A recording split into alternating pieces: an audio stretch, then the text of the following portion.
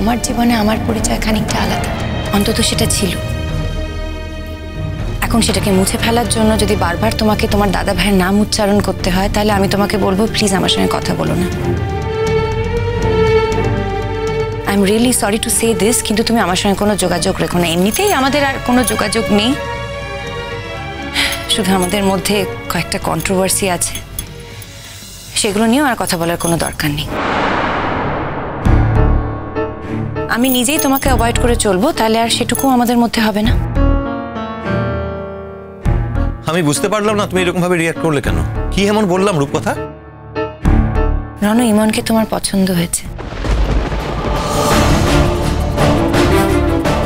মুখে তুমি যাই বলো না কেন মনে মনে তুমি ইমনকে ভালোবেসে ফেলেছ। আর সেই জন্য তুমি আমাকে দেওয়া প্রতিশ্রুতির থেকে বেরোতে চাইছো বাট ইটস ফাইন আমি তো কখনো দাবি করিনি যে তোমাকে তোমার কমিটমেন্ট রাখতেই হবে। আমি কি কখনো তোমার কাছে কিচ্ছু ডিমান্ড করেছি? কি মনে হয় তোমার আমাকে আমার কোনো আত্মসম্মান বোধ নেই? তাহলে তুমি কেন বারবার নিজেই উপযাচক হয়ে তোমার দাদা ভাইয়ের প্রসঙ্গ তোলো? তুমি জানো না? তোমার দাদা ভাই আমার জীবনে পাশের বাড়ির প্রতিবেশীর থেকেও বেশি অপরিচিত। যার সঙ্গে আমার শুধু একদিন দেখা হয়েছিল, শুধু সিঁদুরের জোরে আমি তাকে আপন করতে পারব না। পারিনি তো?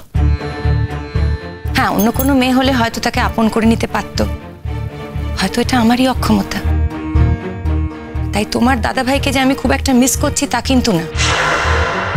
যদি আমি এই কথাটা বলতে পারতাম যে তোমার দাদা ভাইকে আমি মিস করছি, তাহলে হয়তো সকলের শুনতে ভালো লাগতো। কিন্তু সকলের শুনতে ভালো লাগবে বলে আমাকে একটা মিথ্যে কথা বলতে হবে? বলো তো, আর তোমাকেও আমায় মিথ্যে কথা বলতে হবে? কেমন রূপকথা, আমি একটা সাধারণ কথা বলেছিলাম তোমাকে। তার ফল যে এরকম মারাত্মক হবে, আমি বুঝতে পারিনি। যদি বুঝতে পারতাম, তাহলে কখনো বলতাম প্লিজ তুমি একটা সাধারণ কথা বলেছ বলে তোমার মনে হচ্ছে, নানো? তার কারণ? তার কারণ তোমার মনের অবস্থানটা এখন আমার থেকে অনেক দূরে। কারণ তোমার মন এখন আর আমার সঙ্গে থাকে না। তাই তুমি অনেক দূর থেকে দাঁড়িয়ে এই কথাগুলো বলতে পারছ। কিন্তু একটা সময় এরকম ছিল, জানো, যখন তোমার মন আমার মনের সঙ্গেই থাকতো।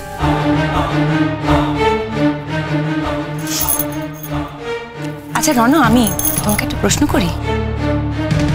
নিজেকে যখন চিনতেই পারোনি, তখন তুমি আমার কাছে প্রতিশ্রুতি দিয়েছিলে কেন রণ যে আমার কাছে তোমার কমিটমেন্ট রইল?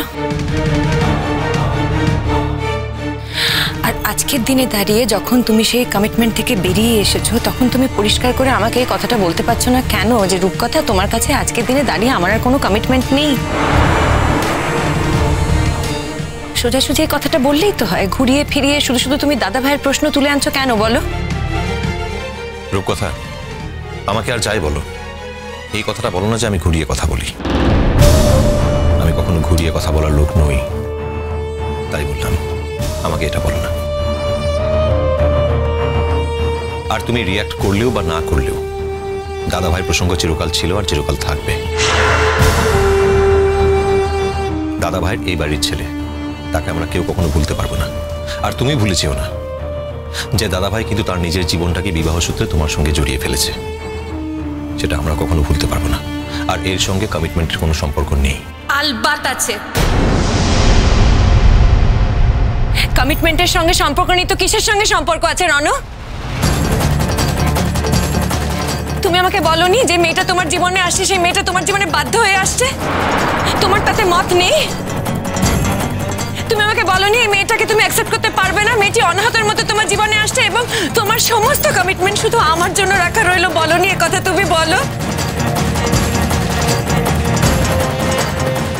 হ্যাঁ বলেছিলাম। হ্যাঁ বলেছিলাম।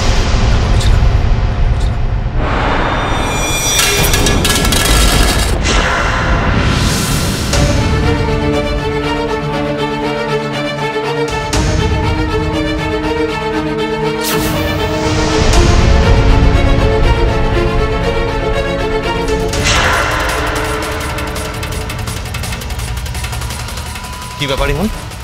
তুমি এখানে? আর থালাটা পড়ল কীভাবে হাত থেকে? তুমি এখানে বলেই ওকে এখানে আসতে হয়েছে। প্রশ্ন করে জানার কি আছে? এমনিতে জানতে না? আমি জানতাম না আপনি এখানে আছেন। আমি সত্যিই ভুল সময় এসে পড়েছি। আমি নিচে সবাইকে মিষ্টি দিচ্ছিলাম রূপকথাতি ছিল না। আর তাই আমি রূপকথাতির ঘরে এসেছিলাম মিষ্টি দেবো বলে। আমি জানতাম না যে আপনারা এখানে কথা বলছেন। জানলে আমি তুমি জানতেই না তোমার বর কোথায় আছে। কিন্তু এটা কি সম্ভব, ইমন? তুমি তো কখনো তোমার বরকে নজর ছাড়া করো না। যে অলরেডি অন্যের নজরে বাস করে, তাকে আমি নিজের নজরে কি করে রাখব রূপকথা দিই? আমার বরের উপর তো তোমার নজর আছে। একটা মানুষের জন্য আর কতগুলো নজর লাগে বলো তো? আমি সত্যি মিষ্টি দিতে এসেছিলাম। ও মিষ্টি দিতে এসেছিলে আর মিষ্টি দিতে এসে তোমার হাত থেকে থালাটা পড়ে গেল তাই তো? হ্যাঁ ঠিক তাই। মিষ্টি দিতে এসেই আমার হাত থেকে থালাটা পড়ে গিয়েছিল। হয়তো পড়াটা উচিত হয়নি। তবু তোমার কি মাথা ঘুরে গেছিল ইমন?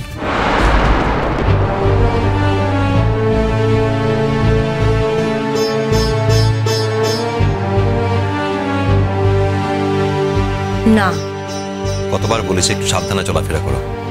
এরকম হুটহাট চলাফেরা করলে কখন কি অ্যাক্সিডেন্ট হয়ে যায়?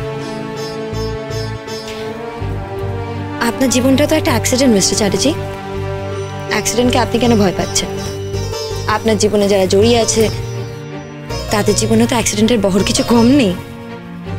যাই হোক রূপকথা দি আমি তো তোমাকে মিষ্টিগুলো খাওয়াতে পারলাম না। আমি একটা কাজ করছি। তোমার জন্য আমি ফ্রেশ মিষ্টি একেবারে নিয়ে আসছি। দরকার নেই। বড় মা বলেছে, আজকের দিনে সবাইকে মিষ্টি খাওয়াতে হয়। মিষ্টিগুলো হাত থেকে পড়ে গেছে, নষ্ট হয়ে গেছে। তুমি যদি সত্যি মিষ্টি খাও, তাহলে আমি অন্য মিষ্টি আনার ব্যবস্থা করছি। আমি মিষ্টি খাব না, তাই মিষ্টি আনার দরকার নেই। তোমাকে আর কষ্ট করে ওপর আসতে হবে না, ইমন। আমি এমনিতেও আসতাম না। অন্য কাউকে দিয়ে পাঠিয়ে দিতাম। আমি তো জানি এখানে আমার আসা উচিত নয়। এটা তোমাদের নিজস্ব সময়। এসব কি বলছো ইমন? যা বলছি ঠিক বলছি। আমি যেটা বিশ্বাস করি সেটাই বলছি।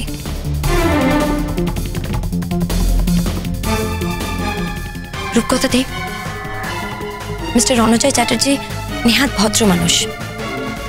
তাই একদিন অনাহুতের মতো তার জীবনে ঢুকে পড়া একটা মানুষকে উনি ঘাট ধাক্কা দিয়ে দাঁড়াতে পারেননি। হ্যাঁ তবে তার দরকারও পড়বে না। আমার যখন সময় হবে, আমি নিজেই চলে যাব। এখনও তো সেই সময়টা আসেনি। সেই সময়টা আসা অব্দি তোমাকে অপেক্ষা করতে হবে রূপকথা দি তবে একটা কথা বলে দিচ্ছি রূপকথা দি mister Ranjoy Chatterjee commitment break করার লোক নন। উনি যদি সত্যি তোমাকে কিছু কমিট করে থাকেন সেটা উনি কখনোই ব্রেক করবেন না।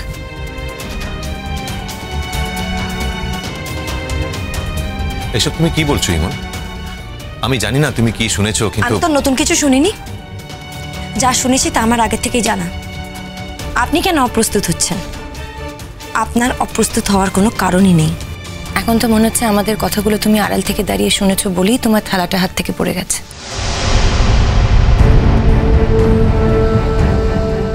তোমার জীবনে এমন কোনো ঘটনা ঘটেনি রূপ কথা দি তখন যদি তোমার সেই ঘটনাকে নিয়ে লোকজন যদি কাটাছেড়া করতো তোমার ভালো লাগতো?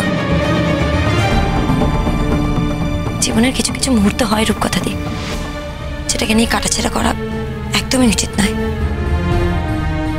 একজন মেয়ে হয়ে তুমি সেটা বোঝো। তুমি সেটা জানো। প্লিজ এটা করতে যেও না। তোমার সঙ্গে আমার কথা আছে, ইমন।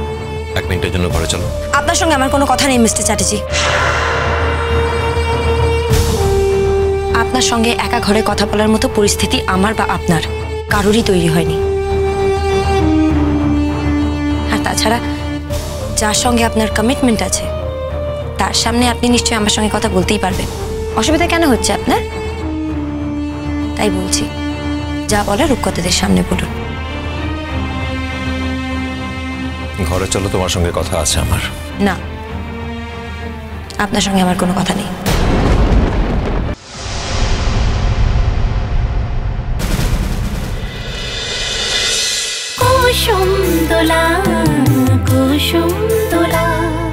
স্টার জলসার প্রিয় শো দেখার জন্য সাবস্ক্রাইব করুন আমাদের ইউটিউব চ্যানেলে এবং আপডেটেড থাকার জন্য প্রেস করুন বেল আইকন।